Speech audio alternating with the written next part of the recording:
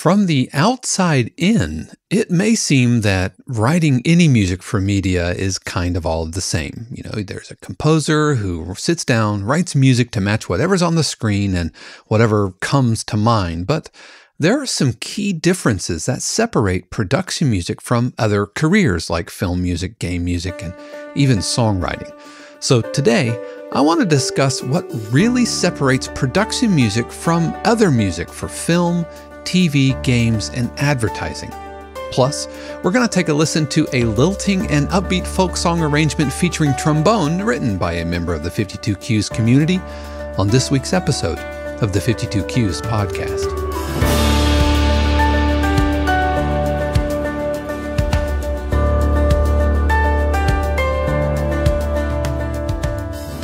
What is happening, everybody? This is Dave Kropf, and welcome back to another episode of the 52 Cues podcast, a weekly podcast dedicated to all things production and library music, where we talk about industry topics and take deep dives into the different aspects of being a working production music composer. Plus, we feature a cue written by you, a member of the 52 Cues community, and this week we're going to be taking a listen to My Bonnie Lies Over the Ocean, written by Nathan Toft, which is a sing song arrangement of the classic folk song and features him on trombone. So you definitely want to stick around for that. If this is your first time here, welcome. I'm so glad you found me, however, you found me. I know you have a ton of options out there, whether you're listening uh, via podcast or watching via YouTube, but I sincerely thank you for spending part of your day here with me. I also want to give a special word of thanks to the family, friends, and patrons of 52 Cues who help keep the podcast, the channel, in everything we do here going. We are 100% community supported, so you're not going to hear any ads for mattresses or meal plans. But if you want to learn more about how you can help support 52 Cues and unlock perks like live streams, workshops, Zoom feedback sessions, and a ton more, then be sure to click on the links in the description or stick around because we're going to be talking much more about that a little bit later in today's episode. So, I wanted to, to really clarify the difference between production music and, say, film music or game music or, or even to a lesser degree songwriting. But I think there's a lot of confusion that can happen, especially if you're watching a channel like this or another channel which might be more geared towards film music or geared towards game music or you're taking um, you know you're watching tutorials on production and it's you know kind of all about songwriting. And so we have to i believe we really have to keep in mind that we're writing production music. So i want to unpack some of the key differences. And one of the biggest key differences is with film scoring. Film music is different than production music. Now, a good editor will take production music from a catalog and it will sound very scored. I'll, I'll, I'll, absolutely recognize that. The best editors will edit their cues together that they get from the catalog, and it will sound like an underscore. It will bob and weave with the scene and will really support the, the narrative structure.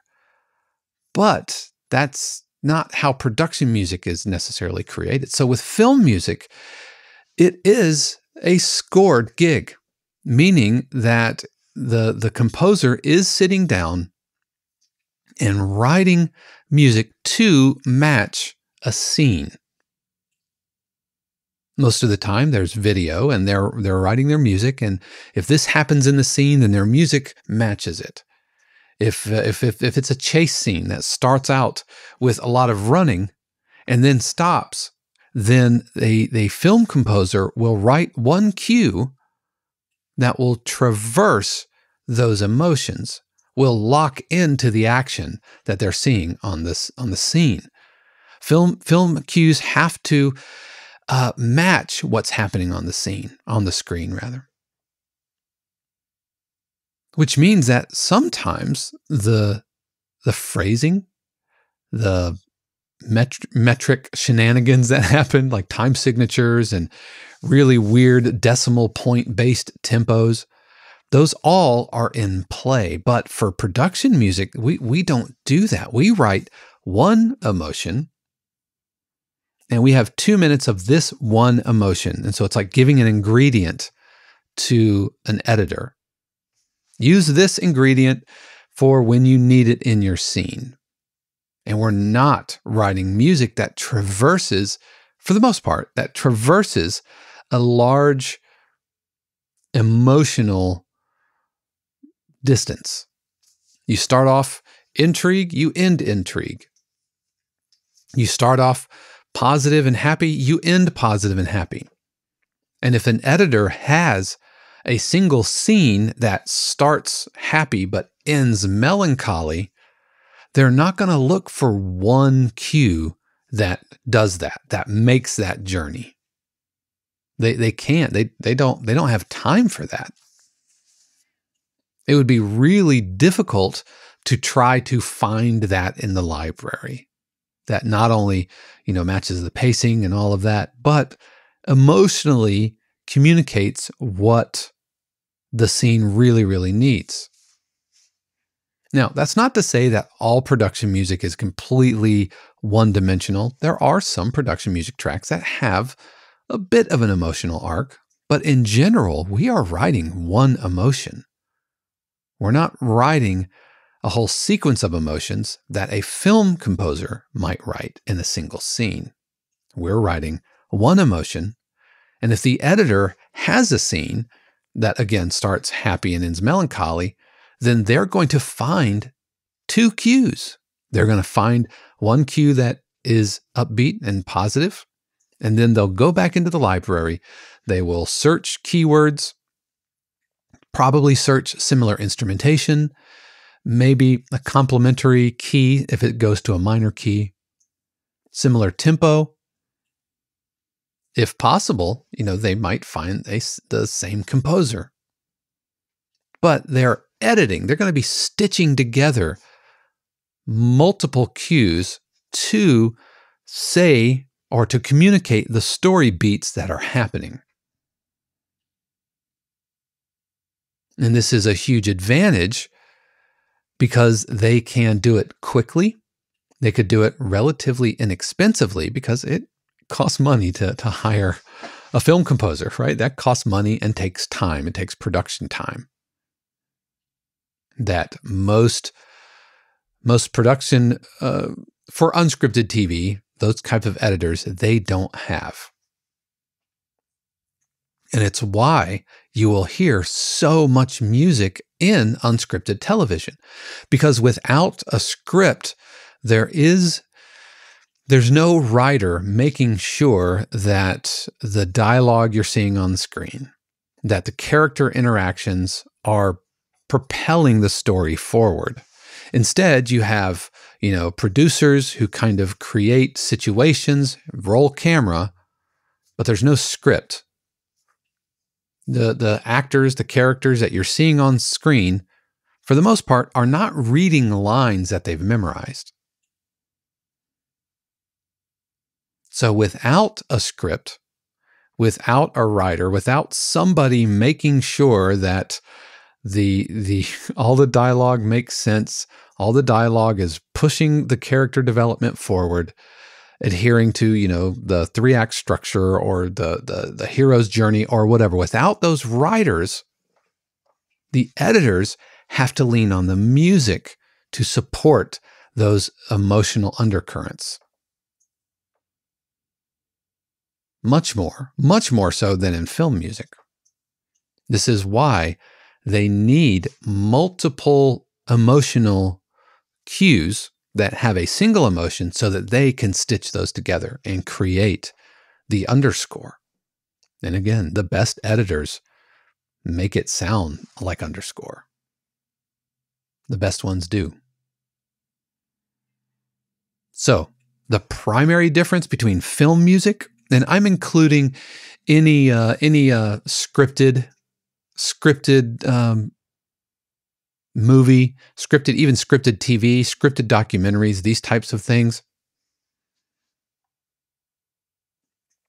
They have a composer who is writing the music, creates a consistent narrative arc, and the music can be really odd. The phrasing can be really weird. The timing can be weird. The time signatures can be really strange. When you watch it to picture, it it it makes perfect sense. But as soon as you remove the picture, then some of the some of the uh, musical choices seem a little suspect which is why it can be a real challenge to uh, to reference film music when you're studying structure and all that kind of thing. So, that's I think the biggest difference between film music and production music. I mean, there are some other differences. With film music, the deadlines can can be sometimes pretty brutal, and there are crunch times when the you, you might be waiting on a a, a, a picture lock. You might be waiting for video so you can get started. I mean, you've probably worked up some themes and those types of things, but you're waiting and waiting and waiting, and then it's kind of like all systems go. And if they've announced, you know, the release date, and then that that date is just like a boulder, Indiana Jones style, rolling towards you. You have to keep moving, or you're going to get crushed by it.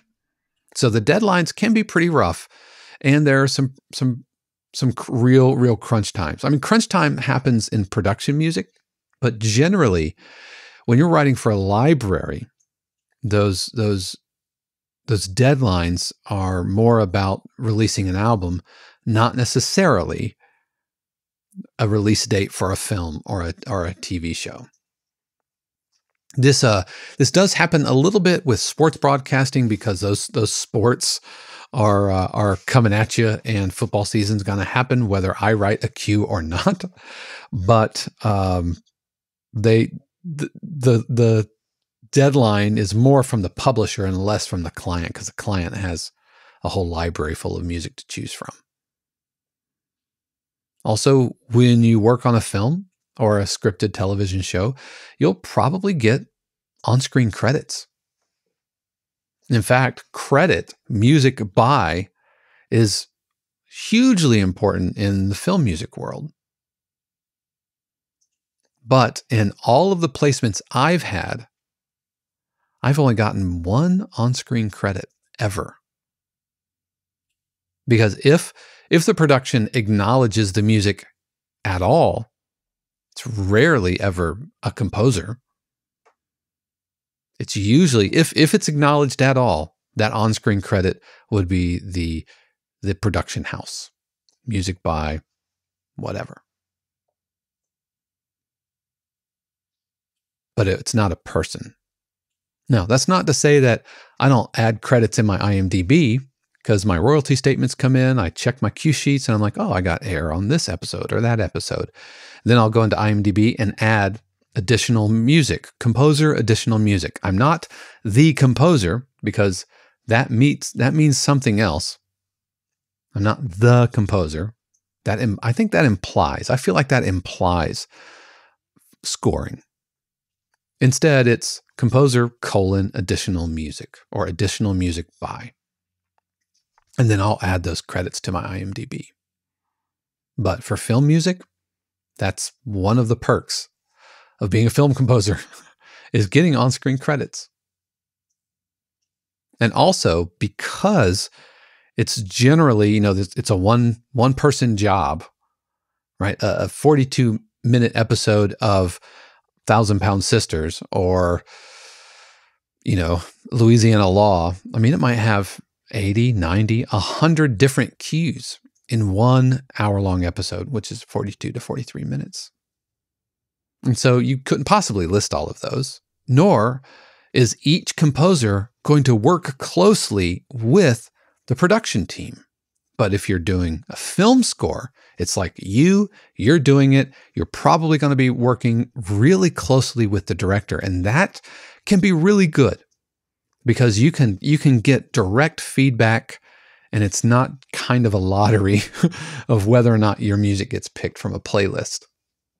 But it can also mean tons and tons of revisions, a lot of back and forth, a lot of last minute changes, the picture changes, and then suddenly you have two minutes of music, but you, the scene is now only a minute and 30 seconds, so you're having to edit. So, yes, it's a lot of back and forth, but it's also a lot of back and forth. And that that can be challenging, but it can also be rewarding. As someone who has pitched to libraries, who has gone the taxi route of of kind of submitting and then getting feedback, and that feedback might just be silence, not hearing back anything at all, or the feedback is, you know, a return or a rejection. You know, that happens with taxi. You get a return and it might be just a small tweak that needs to be made, like a mixing tweak, but it's a it's a return with no recourse really. But I mean that's that's what taxi does and that's their business model and it's kind of what you sign up for when when you um when you submit. But when you're working on a film project or a scripted TV show, then you're working with a, a, director who will give you feedback and revisions are expected. True. I mean, to be fair, when you get in with a library and you're working on an album or something like that, then revisions are absolutely a thing. So I'm not saying that production music don't ever get into revisions. But it seems that because you're scoring, that those revisions can feed into the crunch time that I talked about earlier. And uh, there's a, a single point of contact that seems to work a little bit more smoothly. Somewhat. Again, libraries absolutely give feedback, but editors, if you're submitting a, a cue for Dr. Pimple Popper, the editor isn't going to give me, the composer, mixing notes. It's not gonna, they're not gonna give me phrase notes. Instead, they're just gonna edit it. Or if it's not working, they're just gonna move on to another cue in their library, in the catalog. But I think beyond all of that, film music, and we're going to see the same with game music and songwriting, film music is firmly artist territory. And I've talked about, you know, artist brain versus artisan brain, and you know, I'll have a, a link up to there where where I talked about this isn't art. But film music really needs to be. I mean, it still needs to serve the story and support the emotional undercurrent and all of that. But I feel like film music elevates a little bit beyond what production music strives to be. Again, not disparaging production music.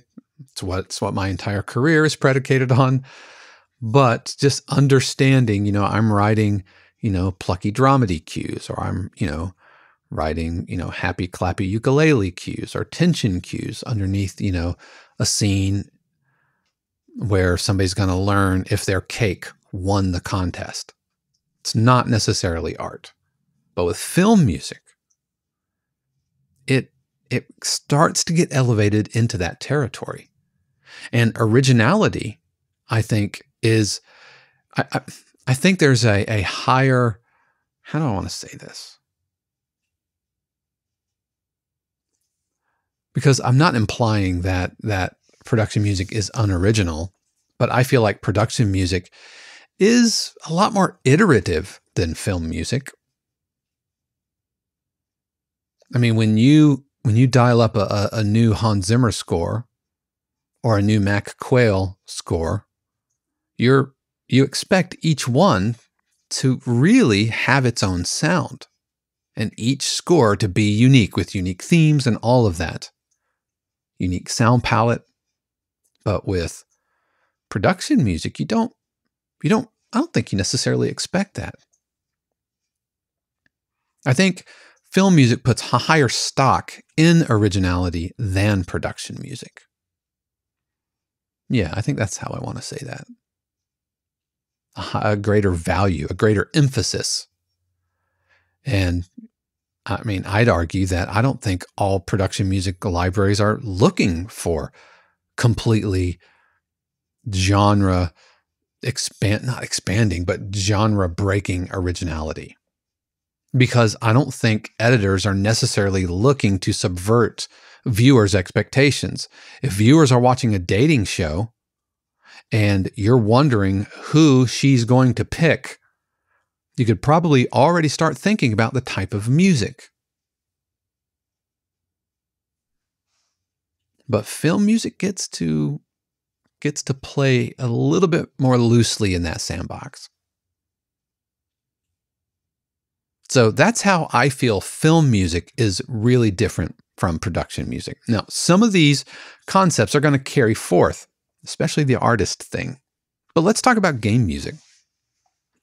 Game music is something that uh, I'm I'm actually dabbling in a in a game right now with a with a buddy of mine who is a developer out in Memphis. It's a little synthwave project, and so I'm doing two new things at once. I'm I'm I'm wading into the shallow end of both game music and synthwave music. We'll we'll see how that goes, and I'll I'll let you know more later. But with game music, uh, from a structural standpoint and a compositional standpoint, your your music has to be considerably more modular, more loopable, because you've got to be able to layer your music. So you have iterations of energy, which I think carries over very, very closely to what production music does, kind of gradations of energy without necessarily changing themes. So I think those are some carryovers, but we don't necessarily give much much thought to loopability and how how our music can be dynamically interactive. And for game composers, that has to be like front and center. Because how the music is going to get used, how the music is going to get implemented, needs to remain in the forefront of your mind as a game composer. No, that's not to say that you, are not writing good themes and you're not, you know, doing, you know, the overall arc of of a, of a of a track or of a, of a cue, but you are always in the back of your mind thinking the the modular quality of the music, whether it's stacking vertically, whether it's loopable. How can you transition from one one portion of a cue to the another portion of the cue or another cue altogether? How are those going to blend? What kind of connective pieces do you put in between those? my, one of my favorite examples of of how game music is interactive and modular is the um you, like in Super Mario World when you jump on Yoshi, right? Bongos show up. Little bongos. And the bongos are like like always in time and they always work and it's great. You jump off Yoshi, the bongos stop. That's the clearest example of, of modular dynamic interactivity. And uh, one of the earlier examples that I remember, like, oh, this is the game music reacting to what I am doing.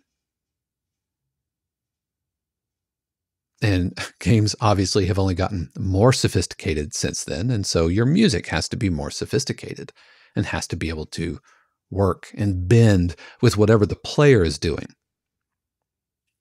There can be some linearity, but the linearity isn't a two or three minutes of linearity. It's more like two or three phrases of linearity. That's all stackable and loopable. The deliverables are much more intense in game music because all of those modular layers have to be delivered separately to a game developer so that they can lay them into their game and program them so that they react to whatever the player is doing dynamically. And so there is this nonlinear quality that has to be in your mind as you are writing game music. And you think the deadlines, man, you think the deadlines for films are rough? Deadlines for games the crunch, you've heard about it, can be intense. Can be intense because it takes a heavy lift to launch a game of any kind. of any kind, whether it's a little mobile puzzle game or whether it's a AAA game with voiceover and and cutscenes and all of that. Very, very brutal deadlines. Also, um, tracking royalties can be really challenging with games because usually, and I feel like this is changing, especially with with uh, digital downloads and game. I feel like this is changing, and it's something I feel like they touched on at the Production Music Conference. But for the most part, and how it's been for a long time is is that the music is a buyout.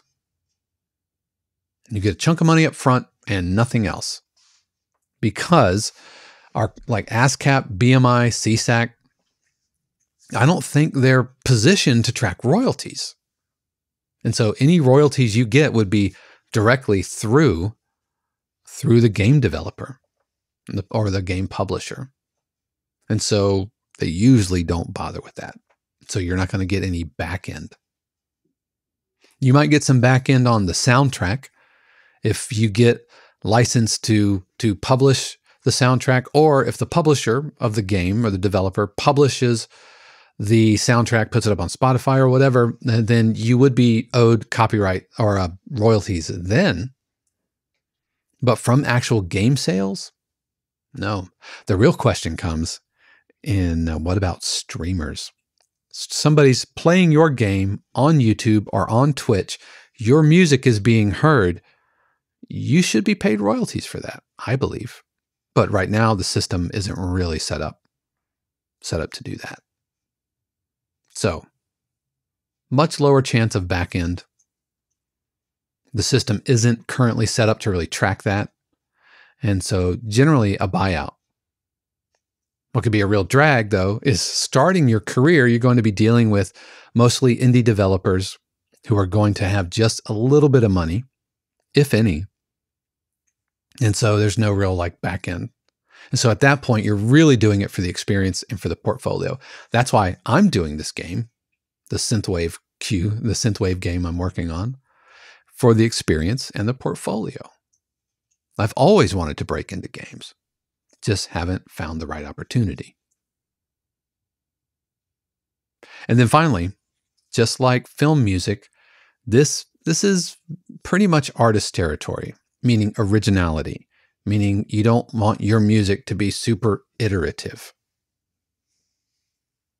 I mean, obviously, if it's a if it's a horror game, you're going to bring along all your horror tropes. If it's a puzzle game, you're going to bring up all of your, you know, your your quirky bleep blorp kind of tropes. I know with this synthwave game, and it's a puzzle game, but it's kind of set in like it's got a, this retro '80s vibe to it, and so hence synthwave. And I'm leaning into all of the synthwave tropes. The the gated reverb on the drums, right? The uh, Stranger Things kind of cascading sine wave pulses, all of those things. All of those things. Even picked up a couple of uh, libraries and sample packs that are that are 80s synthwave nostalgia, uh, vaporwave, whatever vaporwave, where vaporware, vaporwave. I think that's the right term. And so it's been really fun exploring exploring this territory because I know I know very very little about it. Uh, I, I, like it. I've heard a lot of it, but I don't don't write it very often. And what I've actually what's interesting about it is is I've discovered that the um, some of the tools I've been using for my tension cues, namely like zebra patches, those actually work really well when you put them into the context of synthwave. Now, you put like Omnisphere drones and big epic cinematic toms, and it doesn't necessarily sound like synthwave, but you you surround them in like old school Moog type pulses and and 80s LinnDrum sounds, then uh, then it's actually they they work really well. And so I've been using a mixture of like synthwave presets like for Omnisphere and Zebra presets which just work because they're they're unapologetically synthetic. And so the last thing I want to talk about is songwriting, because I'm sure there are folks out there who are songwriters. And I know that there is songwriting for sync, for libraries, but I'm really differentiating production music, instrumental production music, the type like tension cues for for reality shows and that kind of thing. Not necessarily writing a song for sync that's like gonna get on an ad. But the biggest thing is the lyrics. The production music that we write doesn't have lyrics, which means the production music that we write doesn't necessarily like tell a lyrical story. And as soon as you bring lyrics to the table, not only does that dramatically impact your production time and your, you know, can you sing? Are you a good lyricist? How are you with rhymes? There's a whole other set of skills that has to be brought to the table that production music just doesn't require, which I'm I'm okay with because I'm not a singer nor am I a lyricist funnily enough, I dabbled with it when I was in a band uh, after college, but um, but I don't really do much of that now. But because there are lyrics and because you're looking to tell the story, then that that means songwriters and songs generally have a much more involved form and structure. Your typical kind of song form, your verse, chorus, verse, chorus, bridge, chorus, outro. And the verse and the chorus are somewhat related, where the chorus feels like an expanded, you know, verse energy, but the bridge is usually goes off into another direction. Your B section or your C section goes off into a whole other direction, maybe even di- completely different chord progression, maybe even going to the parallel minor, because songs tend to tell a more complete story. Lyrically, of course, but also musically. And so with production music, we're not necessarily looking to do that. We're not looking for our music to tell a complete story. Like I said, talking about film music, we're telling one scene of a story. Also, with songwriters, you're you're firmly, firmly in artist territory, probably the most in artist territory which means you're probably also going to be looking for distribution channels outside of the distribution channels you would pursue in production music, namely Spotify, Apple Music, all those things. For a couple of reasons. First of all, I don't know how interesting it is for someone to to dial up a happy clappy ukulele cue and just listen to it recreationally. I don't necessarily have interest in that. I mean, I listen to my own music, but generally because I'm analyzing it and and and making sure, hey, how does this mix sound all of that. But I I don't ever like dial up production music just to listen to. If I've had a long day and draw up a, a bubble bath and a glass of champagne, I'm not I'm not dialing up I mean like epic trailer music. So I don't need to put my music necessarily on Spotify. Also, I can't for the most part because I don't hold the copyrights because my libraries do. But songwriters, mm, you probably do want to, even, even if they're sync songs, you probably do want to put them up into Spotify, into these streaming channels, because as an artist, you're really looking to support your own artist brand.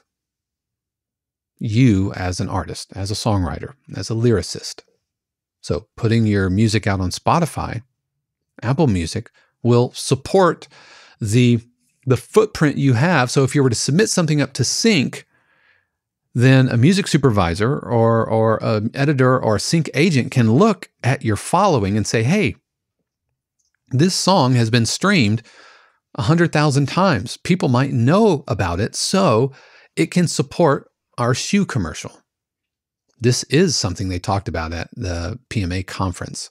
They had sync agents and, and they, they talked about the difference between like sync and libraries and everything. And artist recognition and artist branding was part of it. So if you're a songwriter writing music for sync, writing songs that you intend to to pitch to whether they're libraries or sync agents or advertising firms or whatever, your following absolutely matters. According to sync agents at the conference.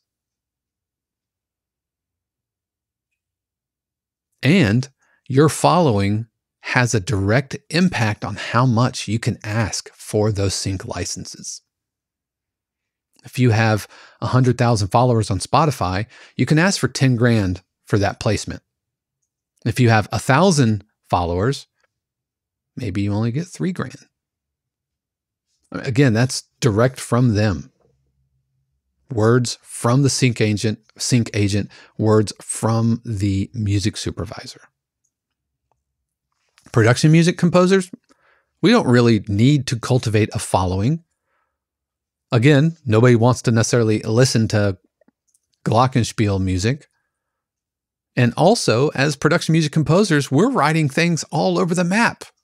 I'm writing a synthwave cue this week. I wrote a, a, a tension cue the week before, and I was playing didgeridoo the week before that. so, from an artist's standpoint, the lack of consistency can be really can be kind of uh, frustrating for for an audience who's trying to figure out who you are as an artist. But again, we're not artists. This isn't art. But if you're a songwriter looking to pitch for sync, get your music on the me- on media, then you have to develop that brand. All of those things that go into being a successful artist are in play, and they're not for production music composers. For the most part. I mean, there are some production music houses which kind of have elevated into artist territory, like in Spotify. I think of Bleeding Fingers, they're a production music company. They also do like custom scoring, but they're production music. Extreme Music is another one. Um, E.S. Posthumus, uh, Two Steps from Hell. You know, they do a ton of ton of like trailer stuff. They they put their stuff out on Spotify and get lots of listeners and lots of followers. But most of us, I mean, it's cool to have my music up there, but that's not my goal.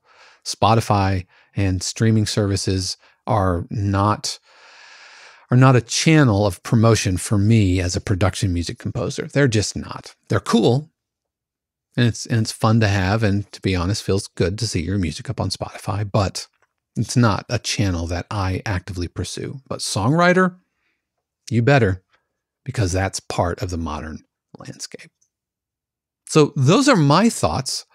Um, the idea of how production music is different from film music, different from game music, and different from songwriting. But what do you think? Was there anything that I missed? Do you disagree with any of these. And if you are a film composer, a game composer, or a songwriter, I would love to hear from you. Please let me know in the comments below. I do read all those comments and make an effort to respond to those. But please, I would absolutely love to hear from you. All right, so we are going to take a quick break. And when we return, we are going to take a listen to My Bonnie Lies Over the Ocean, written by Nathan Toft, who's a trombone player, and he recorded live trombone on this arrangement of a classic folk song. Uh, but uh, we're going to listen to that right on the other side of this break. Hey, y'all, I'm Shannon Kropf, and I want to tell you that the 52 Cues podcast is made possible by viewers and listeners just like you, composers and producers who are looking for a better way to connect and collaborate. You see, 52 Cues isn't just another website selling static, pre recorded videos to a mass audience. It's a fun, vibrant, and positive community that comes together online for sharing cues, getting feedback, and discussing what's up in the production music industry. You'll find both personalized feedback and live interaction, which are the best and fastest ways to grow your skills and earn more placements. The best part is that the 52 Cues community is absolutely free. And when you're ready to take your career to the next level, we offer friends and family subscriptions, which unlock weekly live streams, live interactive group feedback sessions, monthly interactive workshops, and more. Head over to 52cues.com and sign up today. And while you're there, check out our personalized feedback videos, private lessons, and of course, merch. I can't wait to see you at 52cues.com.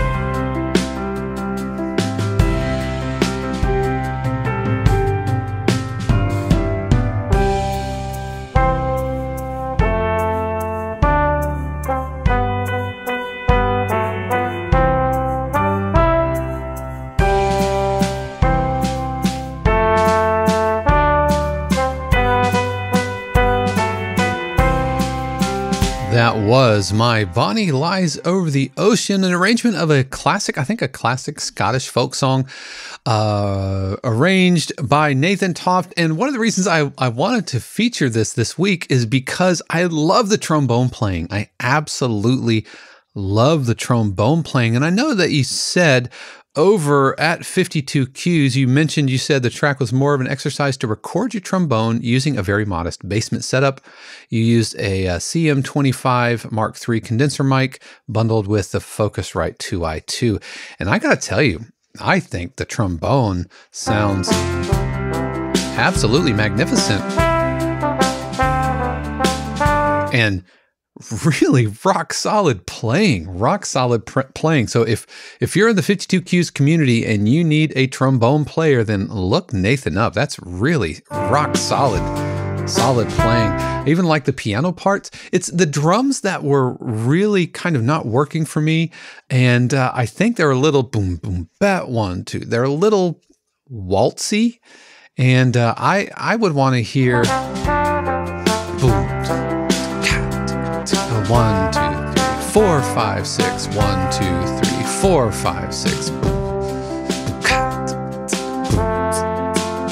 You know, so that kind of a vibe, I think that kind of a pulse and groove could work a little bit better. It's just, it felt a little bit too, too boom, boom, bat, boom, boom, bat, boom, boom. And so I think, I think a, a, more kind of halftime groove could work better with the piano and everything that you have uh, going. I uh, the, the sound of the piano is really nice and really uh, I think played played pretty well. But yeah, considering how busy your piano part is, it's very, very accompaniment, you know, boom, boom, ba dee dee dee, da da da da. Then your drums, I think, kind of playing slower behind that could really could really help out. And uh, I got to tell you, I wasn't ready to leave. I would make the statement.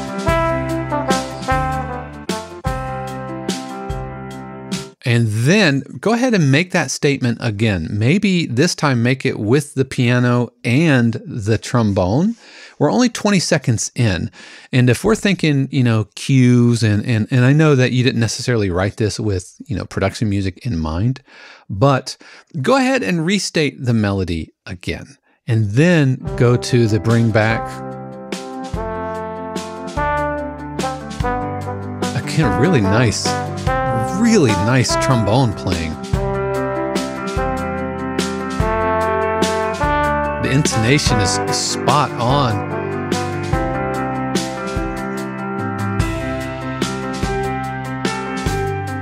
And if you double up the the verse at the beginning, assuming uh, uh assuming or in my mind the verse is my bonnie lies over the ocean and then bring back bring back that's the chorus. I don't know if you do the two verses and then the chorus i don't know if you need this little interlude. I mean it works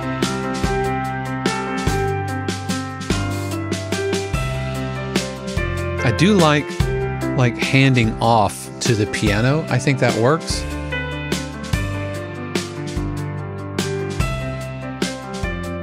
Again, the drums are just kind of too busy because you're playing the, the, the ride cymbal a little bit too much. And I wonder here when the piano takes over the chorus, do some trombone, uh, some whole notes.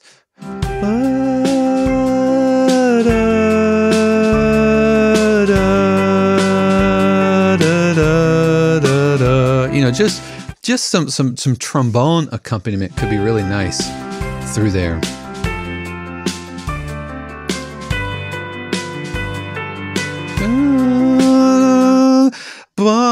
And then key change. Do a key change. Why not? Why not? I think that could be really, really effective and to kind of push all of the energy forward. Let's go to a five of five and into a new key. Whereas you kind of pulled the energy back here. I think I think you could have done a verse chorus. So in in in my mind, having this kind of be um, be verse verse chorus, right, and then then maybe the interlude, and then uh, verse chorus key change verse chorus big that's kind of how I would do it. So this would be on the trombone. Uh, this would be piano. Oh, that's a piano. uh, then add the bone uh, whole notes. And then uh, maybe trombone and piano there at the end. So where it's it's really big with the key change. I think that could really work.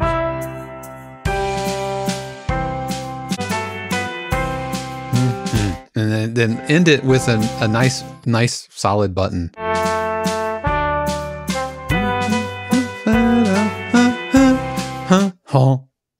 Or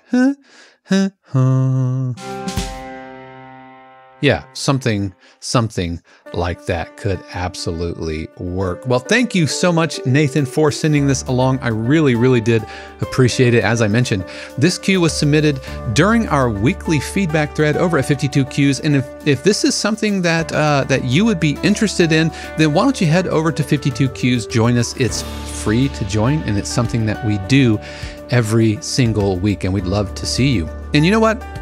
If you found this feedback helpful and uh, maybe uh, you'd like personalized feedback, uh, video critiques, in depth of your own cues where I break down things like form, structure, harmony, mix, and a lot more, then you can also head over to 52cues.com slash coaching. And while you're over there, you can check out some of my other coaching services like one on one Zoom sessions, masterminds, and more where we work together towards your own career goals in production music. So, again, I definitely want to give a huge shout out to the family, friends, and patrons of 52 Cues who help keep the lights on here. But otherwise, that's going to do it for me today. You definitely want to tune in next week because I am interviewing the CEO and founder of Taxi. Michael Laskow, and we're going to talk about the things that we, as production music composers, need to do to make our publisher's job easy. So you definitely want to tune in for that, but that is going to do it for me. I hope that you had a stellar week 37, and I know that week 38 was also good. Why do I know that? Because I know and I believe that the universe has amazing plans for you. But that's going to do it for me. Until next time, peace. The 52 Cues podcast is copyright 2022 Dave Kropf, all rights reserved. The music played on the podcast is copyright of their respective owners and is used for educational purposes only. For more information, including joining the 52 Cues community and submitting your cue for consideration on the podcast, head over to 52cues.com.